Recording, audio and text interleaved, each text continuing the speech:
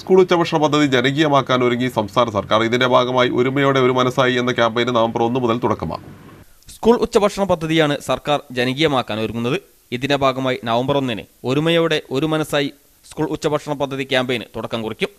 കുട്ടികൾക്ക് ഉച്ചഭക്ഷണം കൂടുതൽ കാര്യക്ഷമമായി നൽകുന്നതിന് രക്ഷിതാക്കൾ കുട്ടികൾ അധ്യാപകർ അനധ്യാപകർ ഉദ്യോഗസ്ഥർ ജനപ്രതിനിധികൾ പൂർവ വിദ്യാർത്ഥികൾ സുമനസ്സുകൾ മുതലായവരുടെ സഹകരണം തേടുന്നതിനും അങ്ങനെ കൂട്ടായ്മയും ഐക്യവും വർദ്ധിപ്പിക്കാനുള്ള സന്ദർഭവുമാക്കാനാണ് ക്യാമ്പയിനിലൂടെ ലക്ഷ്യമിടുന്നത്. ഇതിനായി ജന്മദിനം പോലുള്ള സാഹചര്യങ്ങളിൽ ഉച്ചഭക്ഷണ പദ്ധതിയിലേക്ക് വിഭവങ്ങൾ നൽകി പദ്ധതിയുടെ ജനകീയത വർദ്ധിപ്പിക്കാനുള്ള അവസരവും ഒരുക്കും. ഇതോടൊപ്പം തദ്ദേശ സ്വയംഭരണ സ്ഥാപനങ്ങളുടെ സഹായത്തോടെ അർഹരായ കുട്ടികൾക്ക് പ്രഭാത ഭക്ഷണം കൂടി നൽകാനും പദ്ധതി ലക്ഷ്യം വയ്ക്കുന്നു. ജൂൺ ജൂലൈ മാസങ്ങളിലെ ഉച്ചകഞ്ഞിക്കുള്ള തുക നൽകിയെങ്കിലും ഓഗസ്റ്റ് സെപ്റ്റംബർ മാസങ്ങളിലേത് ഇനിയും നൽകിയിട്ടില്ല. ഇക്കാര്യത്തിൽ വ്യാപക പ്രതിഷേധമാണ് ഉയരുന്നത്.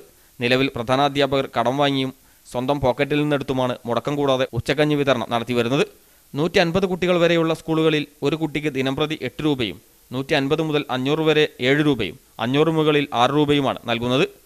ആഴ്ചയിൽ രണ്ട് ദിവസം നൂറ്റി അൻപത് മില്ലി ലിറ്റർ പാൽ ഒരു ദിവസം മുട്ട ചോറിനൊപ്പം രണ്ടു കൂട്ടം കറി സാമ്പാർ എന്നിവ നൽകണമെന്നാണ് വ്യവസ്ഥ. ഉച്ചഭക്ഷണ പദ്ധതി ഗുണനിലവാരം ഉറപ്പാക്കുന്നതിനായി ഉദ്യോഗസ്ഥർ നിരന്തരം സ്കൂളുകളിൽ കയറിയിറങ്ങി പരിശോധനയും നടത്തുന്നുണ്ട്.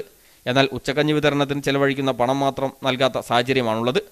ആഹാരം തയ്യാറാക്കുന്ന തൊഴിലാളികളുടെ വേതനവും പലപ്പോഴും മുടങ്ങുന്ന അവസ്ഥയാണ്.